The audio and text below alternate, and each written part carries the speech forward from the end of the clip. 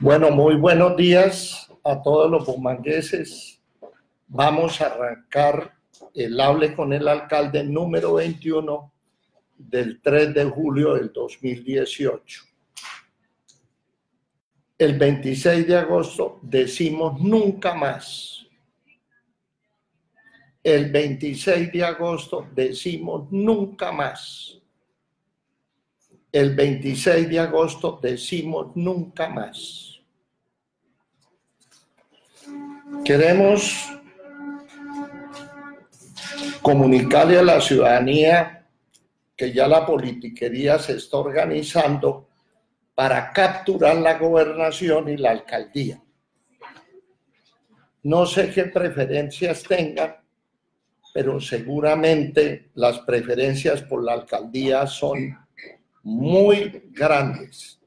Pero eso van a ser una dupla para volver a llevar a la ruina las dos instituciones como eh, la llevaron a la ruina en la administración pasada y que yo soy simplemente tesorero de todos los robos que hicieron. Pero lo grave es que están algunos de los futuros candidatos renunciaron al Senado de la República para aspirar a la gobernación. Eso es lo que yo escucho.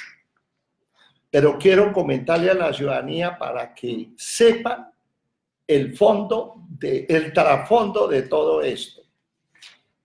Miren, pedí una relación sobre lo que gana un parlamentario en Colombia. Salario y prestaciones y beneficios, 50 millones al mes Tiquetes aéreos 2 millones 400 para un total de 52 millones 400. También tienen adicional una unidad de trabajo legislativo que son 80 salarios mínimos que valen 36 millones 850. Tienen un celular con, me imagino que minutos indefinidos tienen algunos cuatro camionetas, dos en Bogotá y dos aquí, pero pongámosles que sea una y una, camionetas blindadas con chofer, con gasolina, con aceite, lubricante, seguro SOA, por cuenta de todos los contribuyentes colombianos. Miren, eso vale 10 millones cada una, son 10 la de allá y 10 la de aquí, son 20 si tienen dos allá y dos aquí, pues serían 40 millones. Esquema de seguridad, que eso lo paga otra unidad allá. Más o menos, sin detallar el bruto total del costo de un parlamentario son 120 millones de pesos al mes. Pero Ahí sí, ningún trabajador en Colombia tiene estas ventajas. El salario se lo parten aquí así, sueldo básico 8 millones. Es decir, para que no hayan impuestos sino sobre los 8 millones. Gastos de representación 13. Y otros gastos que ponen ahí 10 millones 331 mil 821.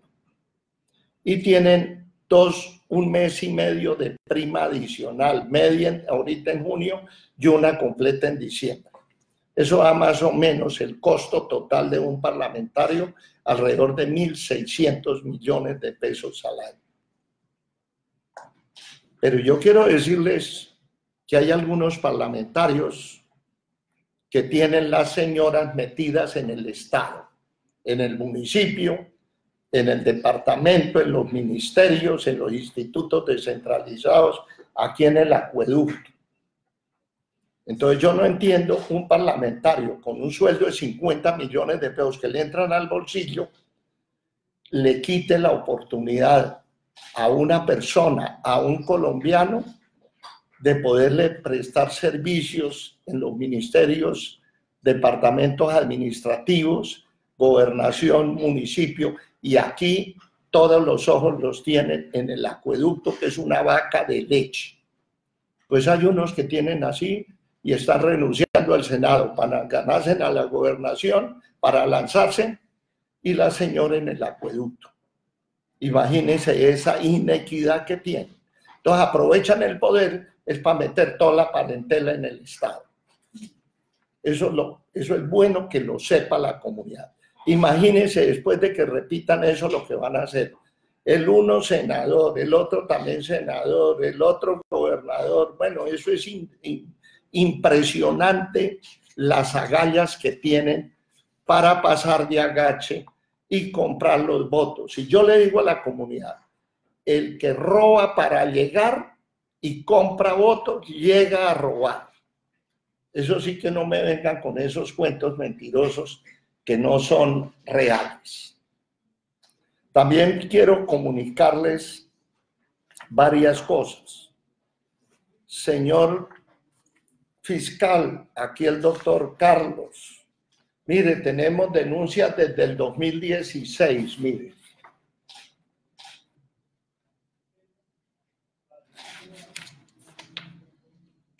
No pasa nada. Febrero del 2016, doctor Carlos.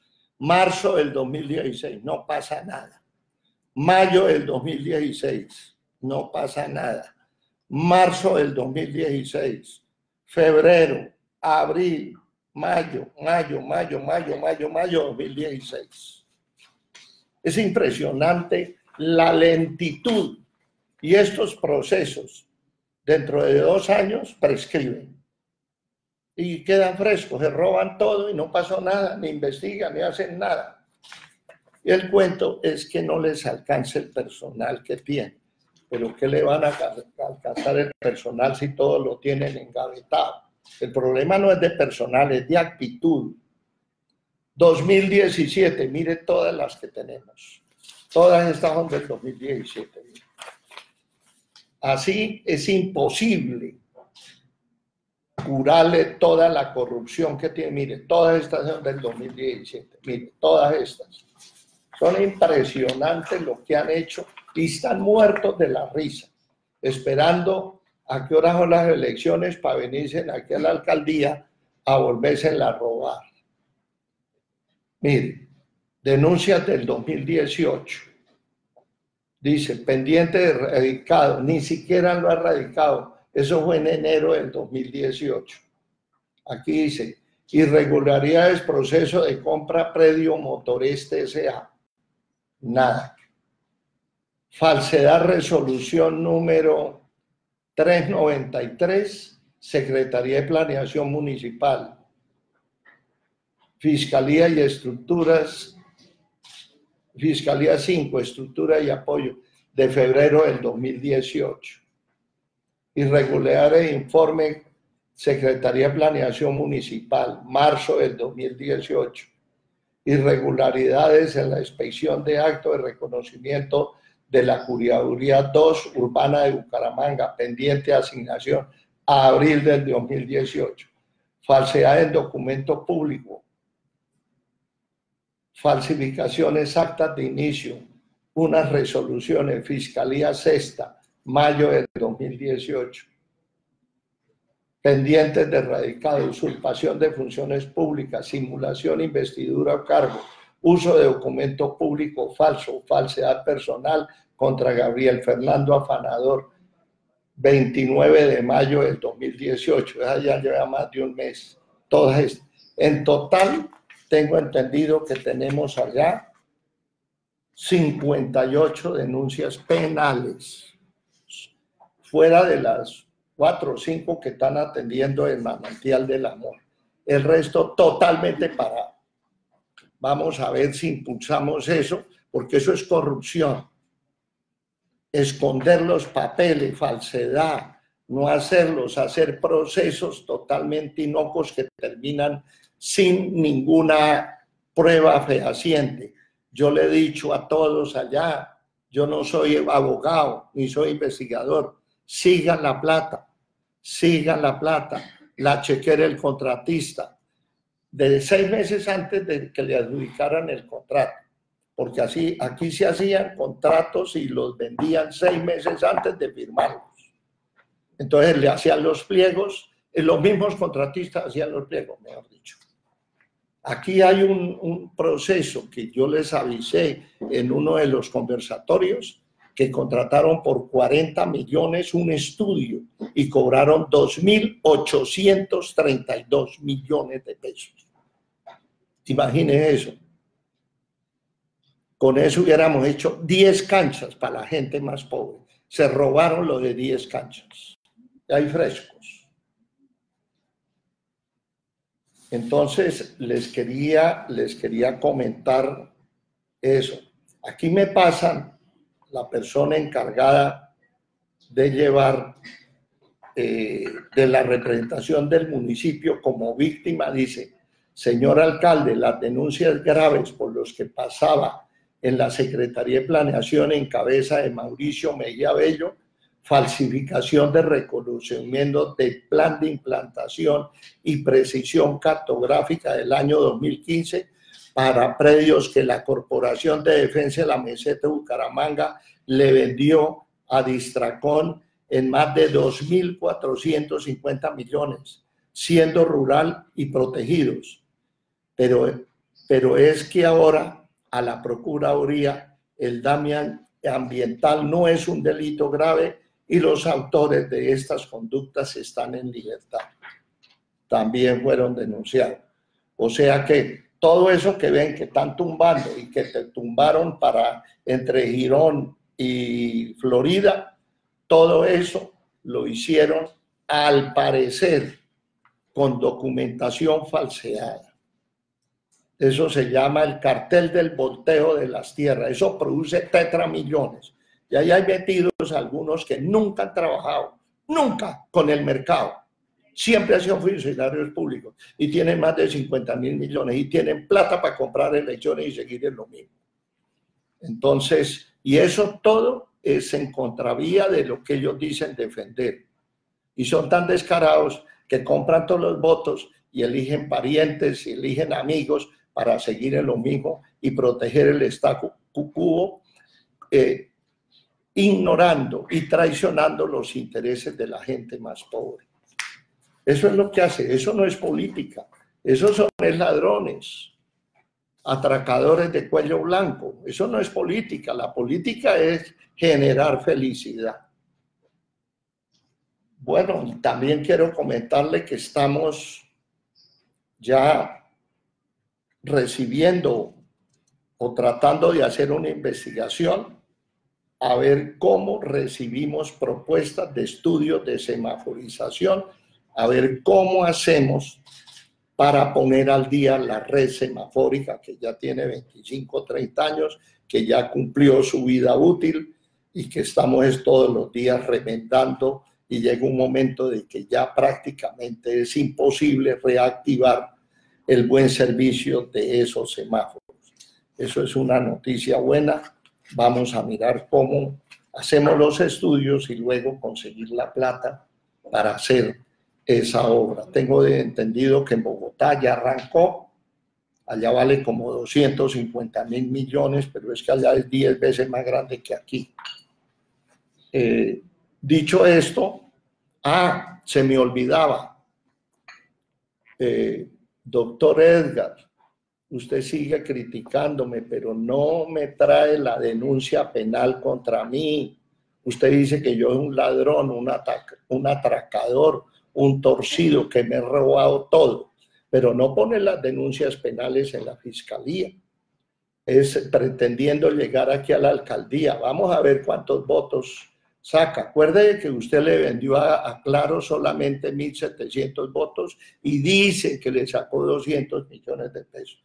Entonces, yo no sé uno si con 1.700 votos pueda aspirar a la alcaldía. Y todos comprados. Entonces, vamos a ver cómo es eso, porque eso sí sería un, un descargo. Eh, Felipe tampoco me ha dicho nada, absolutamente nada, sobre la manifestación, sobre la solicitud que le hice, que nos cuente qué hacía en el tercer piso allá. y de dónde tiene toda esa plata que tiene cuando nunca ha trabajado en el mercado, ha sido solamente empleado público. Si ha sido empleado público es imposible tener toda esa plata. Y el otro también es Jaramillo, que ahora es disque importador, pero ahora es que es el tesorero de, de Richard Aguilar, que le carga la maleta. Y también aparecieron por allá de contratistas de Girón. Sería bueno que el alcalde de Girón el doctor John verificara eso y no se mete en esos líos. Después lo ponen a no dormir.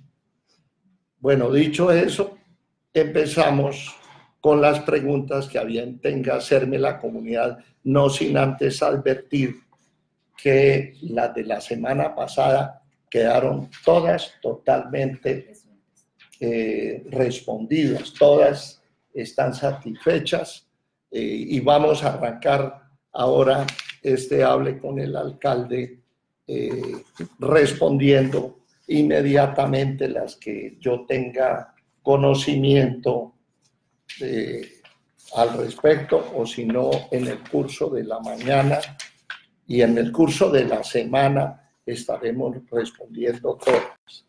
Y nuevamente, el 26 de agosto decimos nunca más el 26 de agosto decimos nunca más. El 26 de agosto decimos nunca más. Arranquemos. Fabián Contreras, buenos días, ingeniero. Muchísimas gracias por ayudarnos con el problema del ruido de la discoteca de Yahoo. Tan pronto usted dio la orden, la Secretaría de Ambiente se puso en contacto para dar solución. El sonido disminuyó considerablemente eternamente agradecidos mi familia y todos los que vivimos aquí. Ojalá todos los mandatarios fueran así honestos y diligentes como usted. Eso sería otro país. Necesitamos un presidente como usted y otro guarde siempre. Bueno, muchísimas gracias. Y esté pendiente. Hay un nivel de decibeles que es permitido dentro de las normas que hay aquí municipales en la Secretaría de Salud. Cualquier abuso de esa norma, hágame el favor y me la hace saber y ya como por segunda vez la violación nos toque sellar, nos toque sellar eso. Elio Díaz Mantilla consulta cómo va lo de el contrato para la malla vial. El de la malla vial tengo entendido que ya cerraron la licitación, llegaron 60, 70 propuestas estamos en la calificación de las mismas.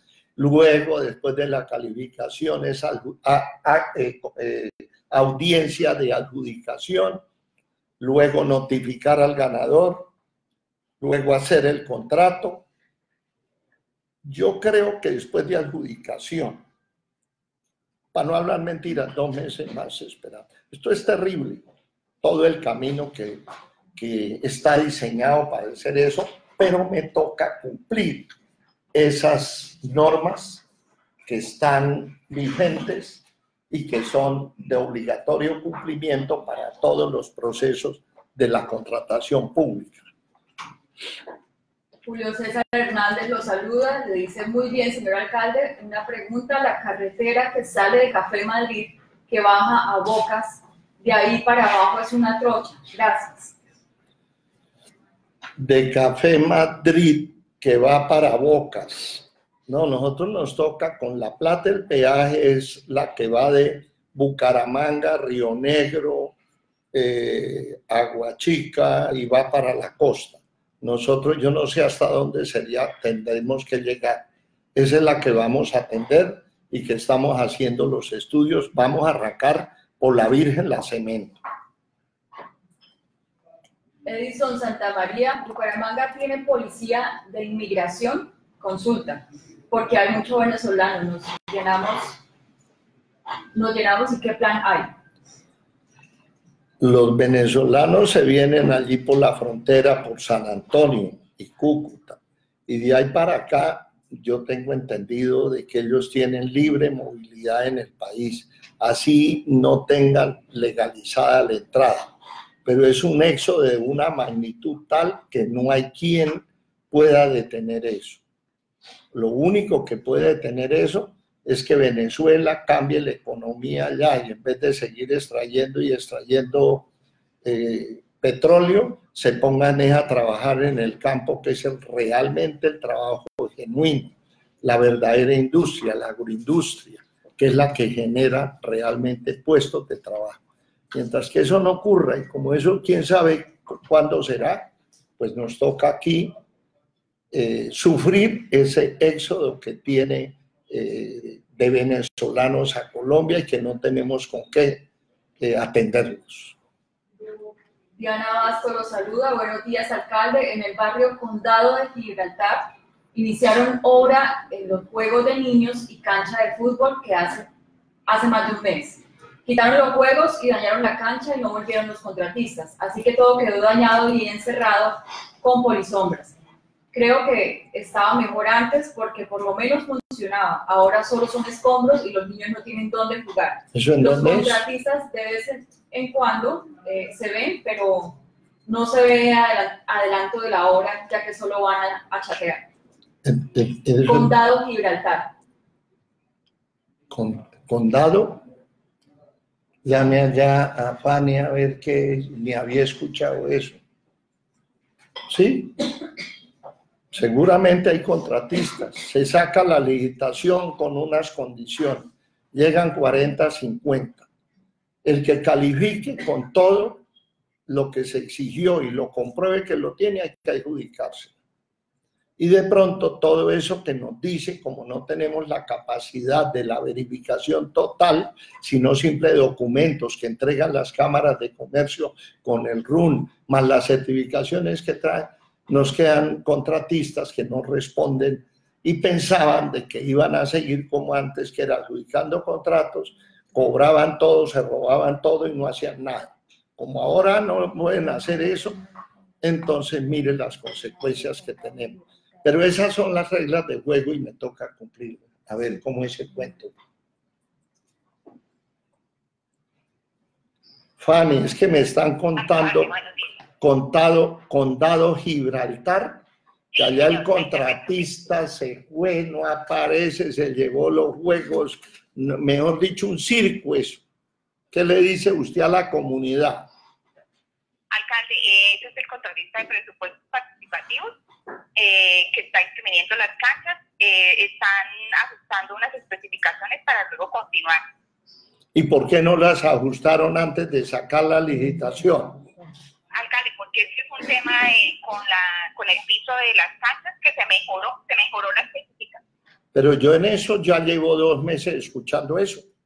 No, ya, ya, ya finalmente ya entregaron el contrato para A ver, esta semana estamos iniciando con... Pero se gastaron dos meses en decir que tocaba hacer en el piso. No, no, señor. ¿Cuántos? ¿Tres? No, fueron como 20 días en, la definición del piso de la casa. Aquí la gente me dice que llevan más de dos meses allá, que no aparece el contratista. No, no, señor, ya esta semana bien. No, mi pregunta es, ¿desde cuánto está paralizado eso? Eh, eh, eso hace 15 días, alcalde, más o menos, que aplicaron la primera capa y están esperando para aplicar la segunda capa. ¿Cuándo, entonces otra fecha, ¿cuándo empezó el contratista?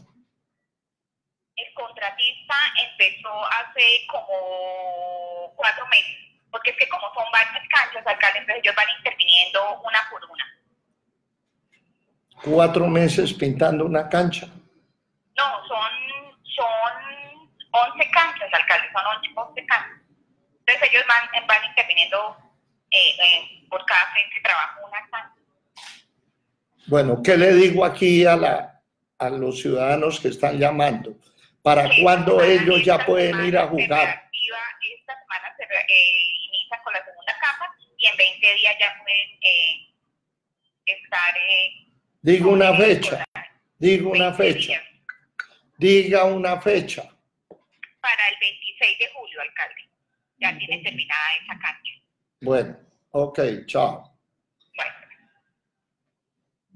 Dice que el 26 de julio, yo como que ni creo eso. Yo le pongo por allá para el 10 de agosto. Pero bueno, Ese es el Estado. Es tanto los controles que hay que terminan, pues se roban todo y nadie responde, porque son tantos los que controlan que no controlan ninguno. Entonces, esto es consecuencia de todos esos controles y todos esos trámites que hay que hacer interminables y preguntarle como a 20 y fuera de eso, el contratista que se gana la obra tiene derechos protegidos del Estado. Póngale 10 de agosto para no hablar mentiras. Esté pendiente y si el 10 no está, actuamos aquí con mano dura, corazón firme. San Juan Peña, mi alcalde, buenos días. ¿Qué ha pasado con la iluminación de la cancha de microfútbol que su administración construyó en el barrio El Porvenir. Está completamente a oscuras hace cuatro meses. Agradezco su gestión. ¿Cierto? Es por la compra de la luminaria. Recuerdan que dijeron que... El Porvenir, la grandotota. Que vienen importadas de, Pero- la fecha. Bueno, vamos también a preguntar, a ver qué pasa. Dejamos esto stand-by. Otra pregunta mientras que me comunico aquí con la oficina de alumbrado público. Daniela Dueñas, buen día, señor alcalde. Quiero saber si se puede hacer algo con el Polideportivo de Ciudad Bolívar, ya que lo usa es las unidades tecnológicas de Santander y a los residentes del barrio nos sacan de las canchas para que puedan ingresar los de esta institución. Pues no, sí es medio difícil. Imagínense que me toque a mí irme, usted entra, usted no, usted sí entra, usted no entra. No, eso tienen que arreglársela. ya. Pero el polideportivo está arreglado, Claro. sí. De hecho, en, esa, en la pantalla ahí aparece ya también cómo está el Polideportivo. Ah, bueno. Eso sí es para la comunidad, me queda muy difícil, la verdad. Daniela, ponerme yo de celadora allá, decir usted entra, usted no entra, usted no, no. Eso es para todos. Tienen que es aprovechar los canales institucionales de ediles y juntas y, la comunidad en general, sin ellos, si quieren, y se pongan de acuerdo el uso de, del polideportivo. Porque el resto sí es decirles mentiras de que les voy a arreglar esas mentiras toques que se pongan de acuerdo la comunidad en qué horas, cómo van a actuar, porque tengo entendido que las unidades tecnológicas, la gran mayoría de los estudiantes es después de las 5 de la tarde. Entonces, entre el día me imagino que están desocupadas las canchas. Organícese allá, en lo que yo pueda ayudar, en, después de que se organicen, en respetar ese horario, ahí sí me llaman con el mayor gusto, ya. Daniela. Daisy Carrillo los saluda desde Trapiche de San Cristóbal que de Cuesta. Le agradece mucho por toda su gestión y lo único que le pide es por favor no deje de defender el agua de Santander. A ver, Daisy, estamos en eso. Desde que arrancamos, desde la campaña estamos, nuestro oro es el agua. Y en eso nos hemos sostenido, no con capricho, sino con argumentación. Yo como ingeniero civil, con algún recorrido de ejercicio de la profesión, sé algo de hidrología y de hidrogeología. Por lo tanto, tocar el páramo independientemente de la línea que determinó el ministerio es matar el agua. Si matamos el agua, matamos la vida. Entonces, siempre mientras que yo esté aquí, la posición será la misma. Ya eh, el fin de semana pasado tuve eh, conocimiento de, que el, el, gerente de Minesa, aquí en Santander, el doctor Montoya Bossi, renunció a Minesa. Es decir, ya esa representación que tenía el doctor Montoya ya no existe y les tocará poner allá otra persona.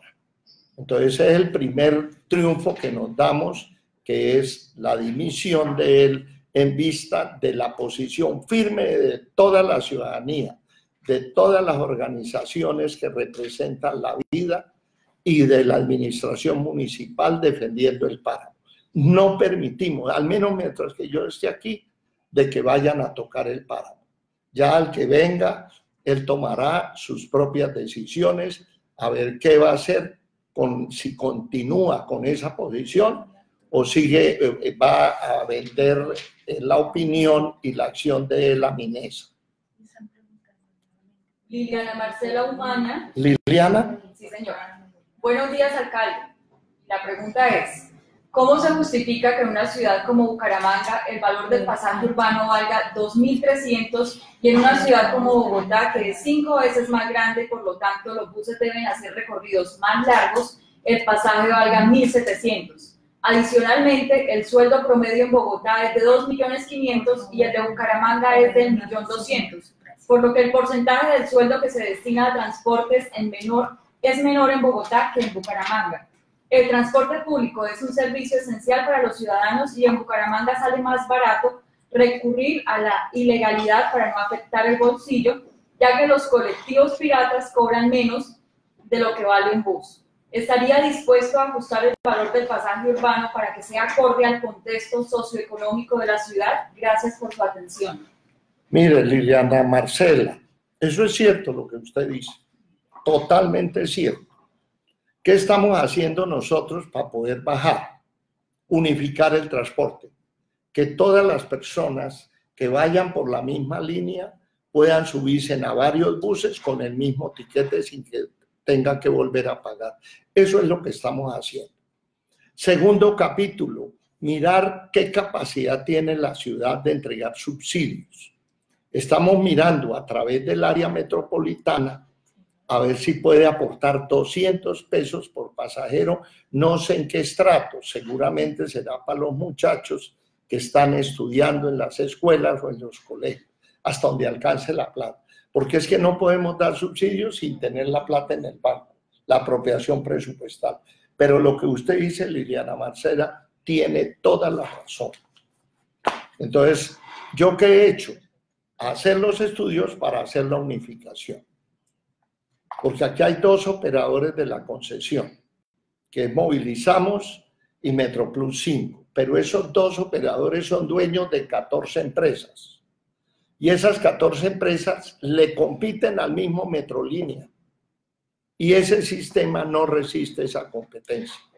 Y en eso estamos. Al parecer, nosotros, yo pensaba que éramos capaces ahorita el 30 de junio pues no fuimos capaces, culpa mía. Los funcionarios del área metropolitana y los funcionarios de, de Metrolínea no fueron capaces, a pesar de las presiones que yo le hice. Nos tocó reprogramar, hacer aprobar en, la Junta del Área Metropolitana la vez pasada, la Junta pasada, un nuevo cronograma. Y ahora está de gerente la doctora Laura Rodríguez, la que era antigua gerente del acueducto, para que nos ayude a sacar adelante eso. O sea, Liliana Marcela, todo lo que dijo usted es cierto. Gonzalo Olarte. Señor alcalde, en el Parque de los Niños no deberían poner tantos cepos. Allá hay buenas bahías, no se complica tanto con el, con el tráfico, pero cada 10 minutos pasa. Seguramente habrán otros sitios, llámeme allá al director de tránsito a ver por qué se ponen a poner cepos donde, hay bahías de parqueo y no los ponen aquí en la 35, en la 15, en la 34, en la 33, en la 32, en la 27. Entonces, que yo quiero ver una, una, una cronología, un programa de los sitios donde vamos a poner cepos. Y cuando tengan despejado eso, ahí sí nos vamos para el Parque Los Niños. Esta pregunta también es para tránsito, alcalde. Hola, Germán. Es que me están diciendo aquí, eh, Gonzalo, que un ciudadano que está conectado con Hable con el alcalde, que por qué la policía eh, no tiene un programa de dónde colocar cepos y se van a colocar cepos donde no los tienen que colocar y ponen ejemplo el Parque Los Niños y todos los carros botados en la 27, en la 33, en la 15, en la novena, en la calle 36, en la 35, en la 34, en la 32, en la quebrada seca. Entonces, e- eso me están preguntando. ¿Qué les digo? Alcalde, nosotros tenemos ahorita cuatro UBIs, y esos carros van rotando. Digamos, el que tenemos para cabecera, hoy coge un sector de cabecera, mañana coge otro diferente, pasado mañana otro, vuelve, o el mismo día, como esté la situación, va volviendo. Pero vamos tratando de, de darle, eh, abarcar toda la ciudad. Con cuatro carros, pues no vamos a más, esa la intención de comprar otros dos para abarcar cada día más, más la ciudad. Pero no hay un sitio determinado que aquí no se puede entrar, no, nosotros tenemos en el centro pues del centro de rato los sacamos para que nos ayuden en San Francisco, en San Francisco los pasamos para el otro lado y así van rotando. Pero ¿será que habrá unos sitios donde la gente es más necia de dejar botar en la calle el carro? ¿Por qué no nos concentramos? Eso es lo que dice Gonzalo, el ciudadano. Alcalde, mire, yo personalmente he participado, por ejemplo, la 35 con 12, una calle peatonal, quitamos los carros de la 35 con 12, cuando pasamos a la 13 ya está otra vez llena la 12, pasamos a la 14 y nos devolvemos y está otra vez llena. Eso es algo Pues eso usted recoja plata, ponga cepos ahí. Vamos sancionando y vamos haciendo eso, ese ejercicio, pero decir que lo estamos acabando, eso es mentira, alcalde. No, La él lo que dice es, no, pero- Gonzalo lo que dice es, si hay unos sitios donde dejar el carro en la calle es más traumático, ¿por qué se van para el parque los niños que hay bahía? Alcalde, digamos, en el parque de los niños tratamos de defender la ciclorruta, en ese, en ese gimnasio que hay ahí enfrente, eso es lo que más atacamos, porque vale, nos parquean todas las motos en la ciclorruta. Entonces atacamos ahí donde hay una iglesia, está No, es por la 26.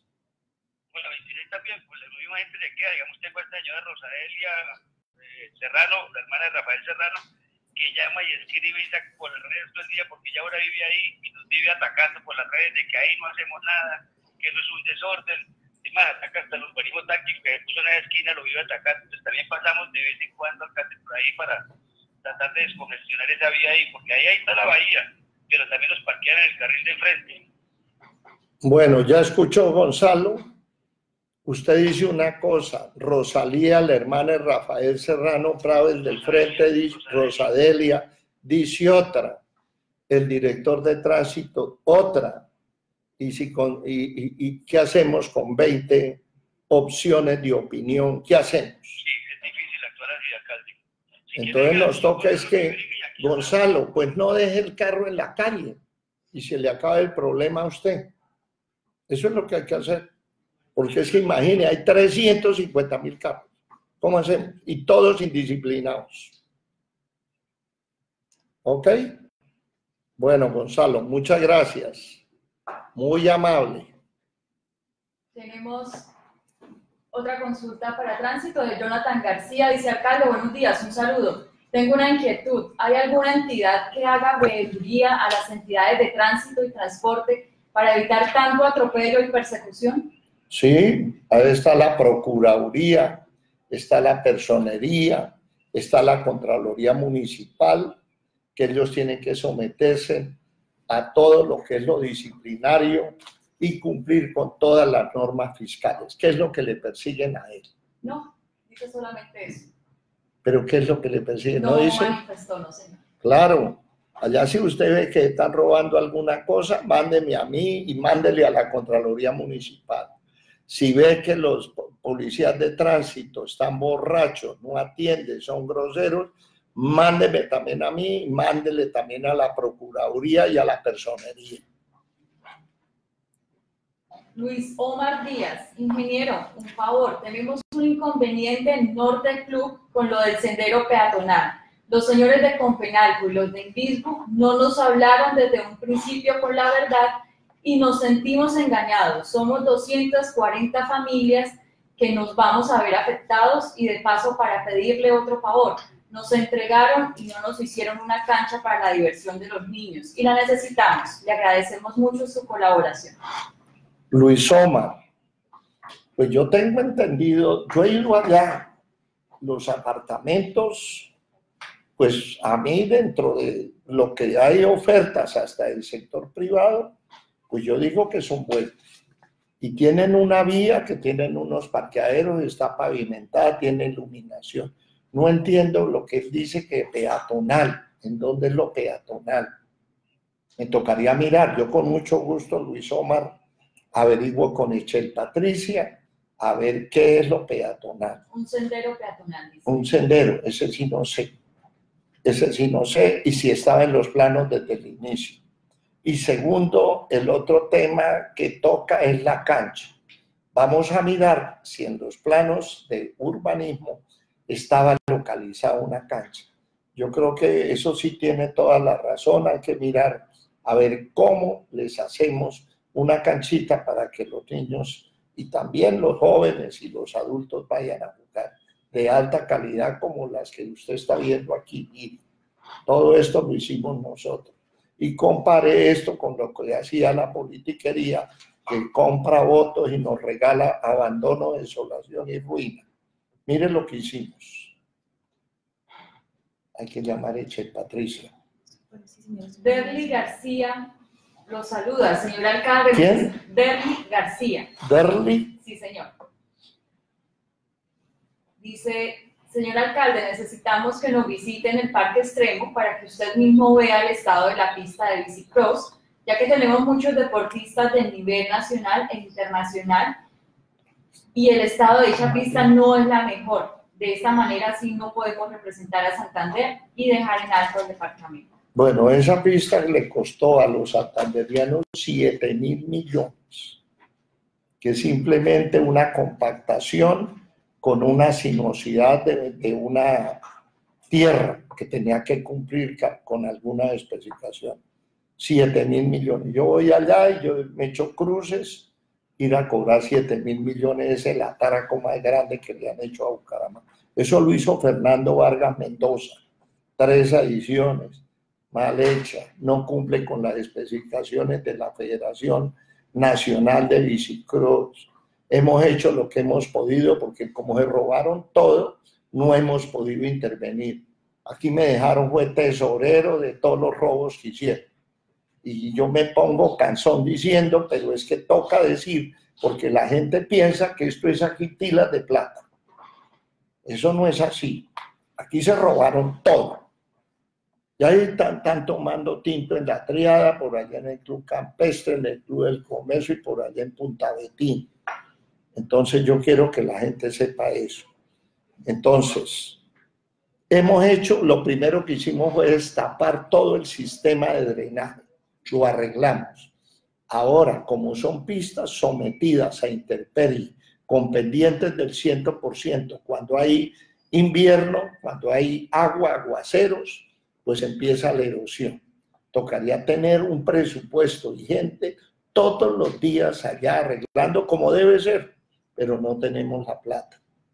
Entonces hacemos lo que podemos de acuerdo con las migajas que nosotros tenemos aquí presupuestales y que las hemos conseguido a base de eficiencia y eficacia en aplicación de los recursos. Jorge. Jorge Noguera, ingeniero, buenos días. Me gustaría saber qué respuesta tiene de Metrolínea respecto a la ruta para los barrios que se encuentran en la Quebrada Seca con Novena. Para abajo, barrios como Santander, Don Bosco, Girardot, Los Ranchos, barrios de los cuales no cuentan con ruta de Metrolínea. Las personas de estos barrios eh, no pueden usar este medio y debemos pagar doble transporte o pagar servicio informal como mototaxistas o en su defecto subir a pie hasta la carrera 15 con quebrada seca. Muchas gracias. Agradezco su respuesta. Bueno, Jorge, eso es cierto. Pero es que, a ver, les voy a explicar un poquito. ¿Qué es Metrolínea? Metrolínea es un, un ente gestor. Adjudicaron unos contratos. Esos contratos a todos los concesionarios les pagamos por kilómetros. Es decir, si el bus va desocupado, hay que pagar los kilómetros de recorrido. Entonces, ¿hasta dónde podemos extender el Metrolínea? Hasta donde la caja de... Porque si seguimos extendiendo, como son kilómetros y no pasajeros, pues se genera un déficit. Hoy Metrolínea le está debiendo a los concesionarios algo así como 35 mil millones. Es decir, han recorrido más kilómetros que los pasajeros que han recorrido, recogido en esos kilómetros han pagado. La diferencia es de 35 mil millones en ocho años. Esa es la verdad. Entonces, para eso es que estamos haciendo la unificación. Pero la unificación no puede ir hasta la última casa del último barrio. Porque vuelvo y repito, como es kilómetros y hay que llevar dos pasajeros, pues dos pasajeros valen 4.600 pesos y los kilómetros creo que hay unos a 8.000, 9.000 pesos. Entonces, eso es lo que quiero que entiendan. Juan Carlos Velandia los saluda. Señor alcalde, buen día. ¿Qué está pasando con los empleados del acueducto? Llevamos más de una hora y los cajeros se hacen los bobos tomando café, hablando entre ellos. Es el colmo que sean así de conchudos con los ciudadanos que somos los que pagamos para que ellos reciban su sueldo. Cierto, Juan Carlos. Eh, hay unos funcionarios que no quieren entender que el que le pague el sueldo no es el alcalde es la misma que está el hombrecito que está pidiendo servicio, ese que esté enfrente le pague el sueldo. Y están en el sindicato. Y el sindicato, pues yo no puedo decir, porque con las muestras que ha dado el sindicato, al menos en esta administración, ha sido de una comprensión total. Pero hay unos muérganos ahí que no quieren trabajar. Eso va a tocar sacarlos.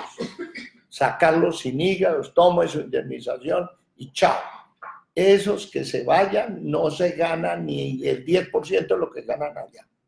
Allá es una vaca de leche, donde yo fui el único que tranqué todo eso, lo que había allá de desafuero del sindicato en contravía de los intereses de la gente. Y no solamente del sindicato, de los directivos. Todo lo que producía el acueducto lo cogían ellos. Hasta el año pasado, después de 100 años, les logré sacar 1.600 millones de pesos para hacer la cancha de cristal alto. Y este año, 8 mil millones.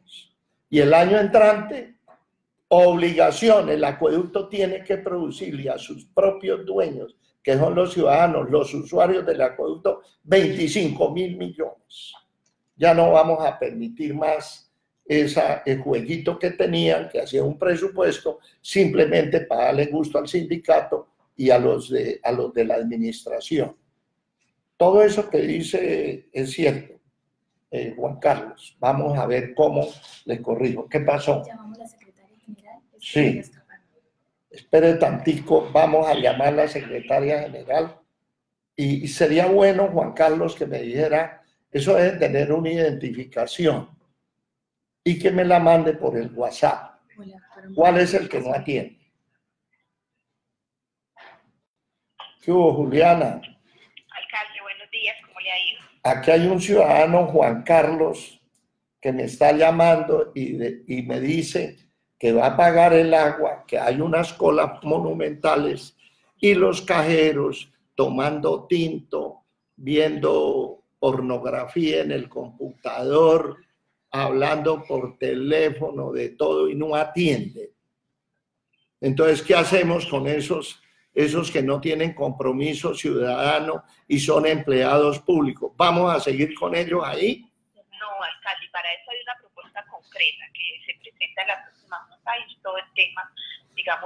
Sí, pero no es trasladar toda esa gente que no sirve por otro lado, porque esas son las soluciones que da, que dan allá y aquí también que este no sirve, trasladémoslo por otro lado y traigamos uno que sí sirve. No, señora, el que no sirve hay que votarlo, eso es traicionar los intereses de la gente. Hay que votarlos. Si el señor, si el señor ya, digamos, tiene una denuncia concreta contra, porque digamos... pero eso la ven, ven las colas, pero ven las colas, la tomadera de tinto, todos tienen cistitis, todos en el baño.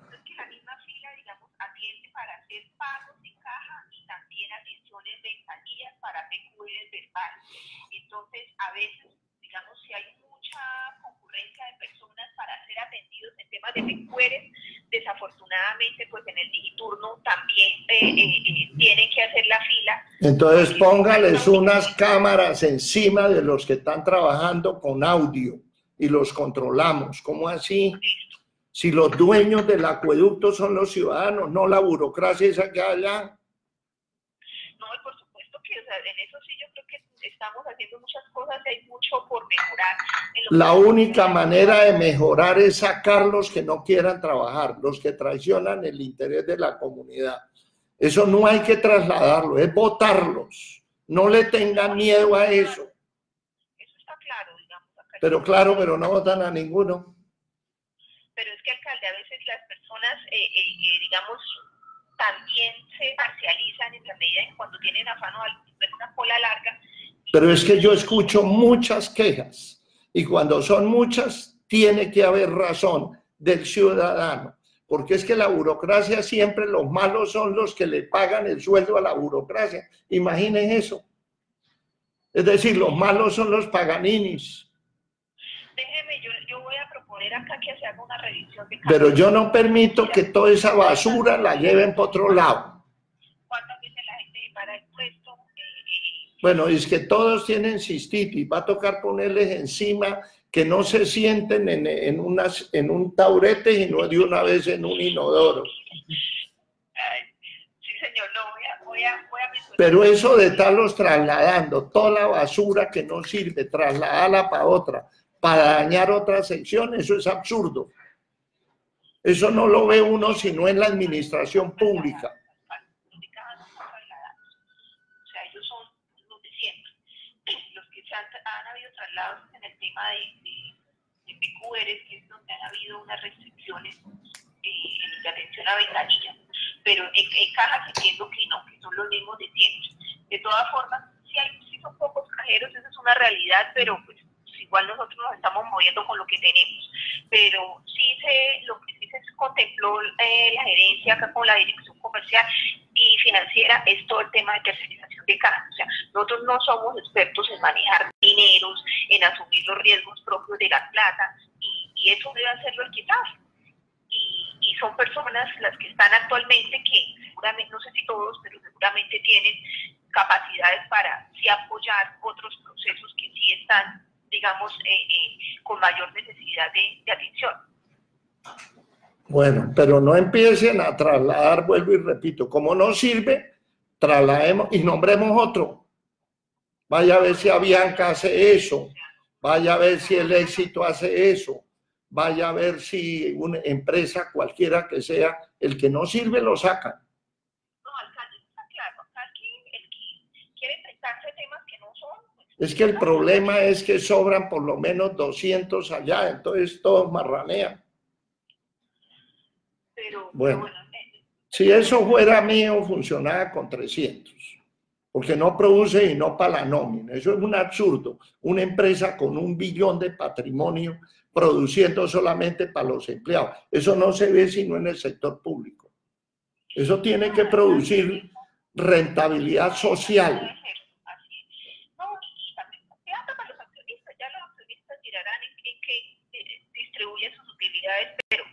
No, rentabilidad social. No es que le giren plata al municipio, sino hacer como Medellín, las uvas, unidades de vida articulada.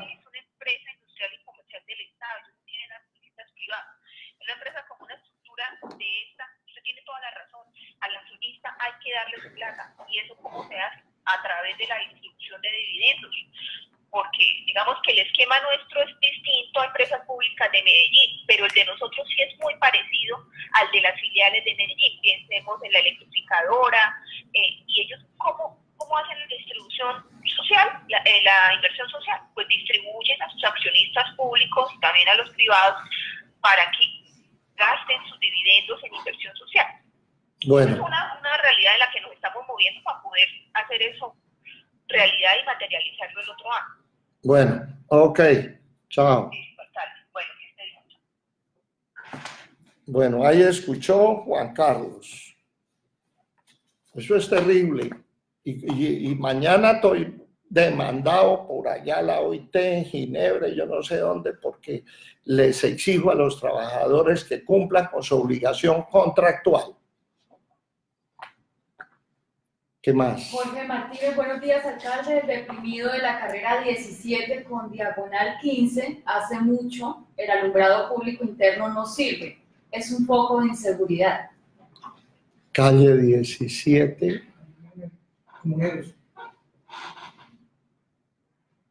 ¿Dónde? ¿Arriba?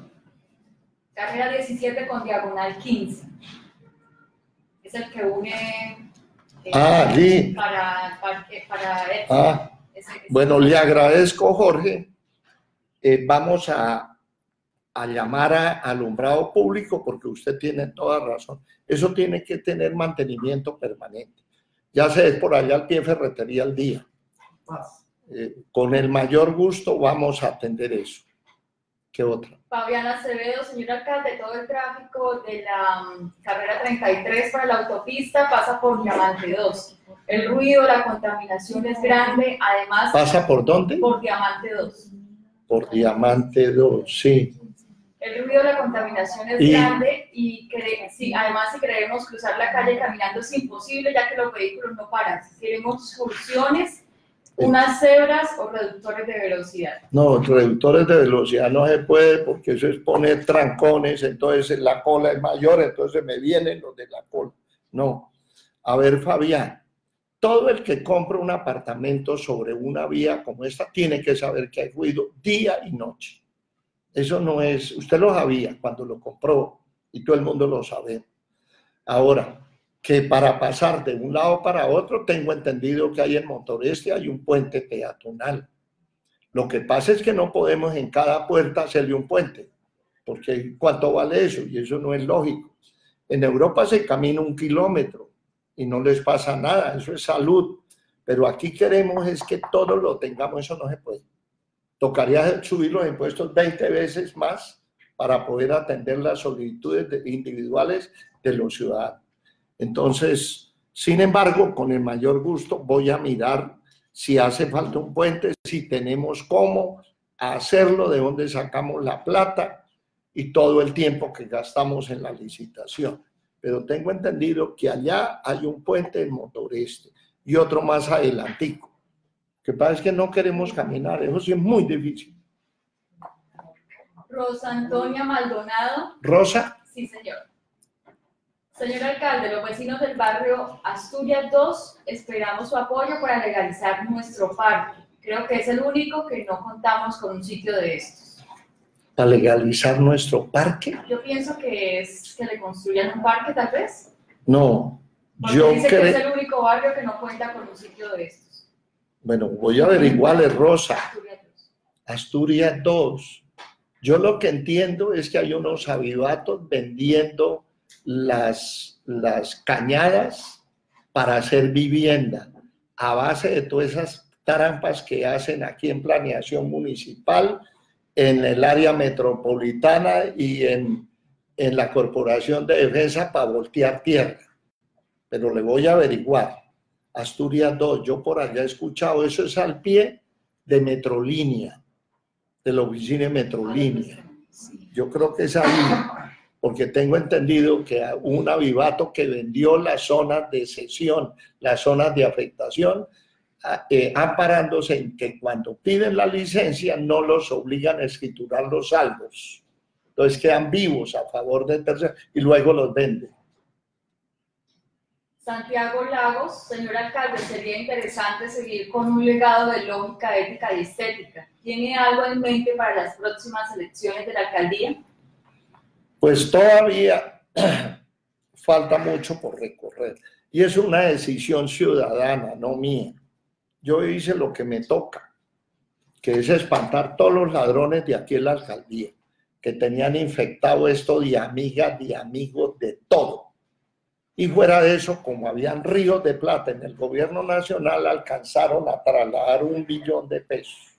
Un billón. Pero ¿qué le hicieron a los pobres? Dígame. Nada. Cero. Cero. Y ellos dicen que ellos representan el interés de los más pobres en el Consejo Municipal. Mentiras. Los traicionaron. Entonces, si siguen vendiendo la gente los votos, esto no lo arregla ni Mandrake, ni Pinochet. Entonces, ustedes tienen que tener claro el día de las elecciones por quién van a votar. Y esa es la clave, no quejarse más, es votar de acuerdo con lo que tengan en, en mente y lo que le dicte su corazón. Bueno, yo quiero agradecer a los bumangueses haber atendido esta horita de todos los primeros días hábiles de la semana del programa Hable con el alcalde. Y no quiero terminar sin volver a repetir lo siguiente. El 26 de agosto decimos nunca más. El 26 de agosto decimos nunca más. El 26 de agosto decimos nunca más. Feliz mañana y un abrazo a todos los momongueses.